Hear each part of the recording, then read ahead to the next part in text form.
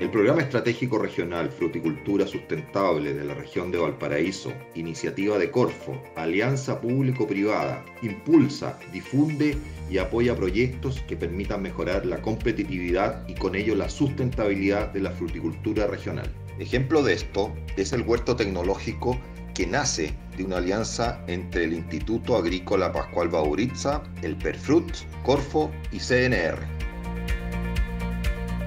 Hoy día el uso de la telemetría permite tener datos en tiempo real y además tener múltiples datos de múltiples escenarios en un mismo lugar. Y como hoy día la juventud es de trabajar en paralelo en varios proyectos y además justamente trabajar en la inmediatez, lo que hacemos es compatibilizar esa necesidad, esos gustos con lo que nosotros necesitamos para producir en fruticultura. Y esa idea es lo que nosotros queremos centralizar a través del uso o la, implementación de este huerto tecnológico e instalar en nuestros educandos, en nuestros jóvenes, esas competencias para su desarrollo profesional futuro. Eh, dentro de los sensores que tenemos dentro del huerto tecnológico, obviamente que están los sensores de humedad y de acuerdo a cómo, se va entregando esa información en plataforma, uno va adecuando el riego en las temporadas de acuerdo a la condición climática, de acuerdo al estado fenológico y a lo que, te dice el sensor de cuánta agua hay en el suelo. Eso nos ha permitido a través del tiempo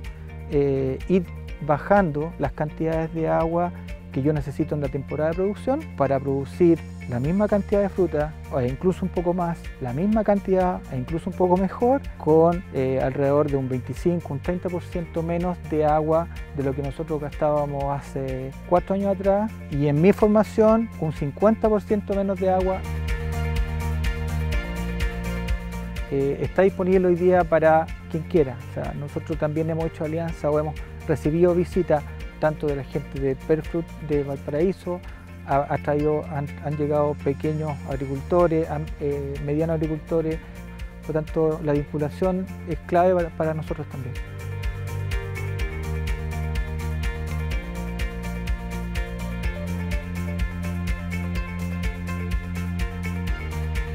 podemos conectarnos en línea inmediatamente con la información que está entregando esta sonda. La sonda toma datos estos se entregan a una plataforma y nosotros podemos trabajar digitalmente desde la sala o desde cualquier lugar, interpretando los gráficos que nos puede entregar la, sonda de humedad y con eso poder entregarles a los estudiantes las herramientas necesarias para que ellos puedan en, en un futuro tomar las mejores decisiones en riego.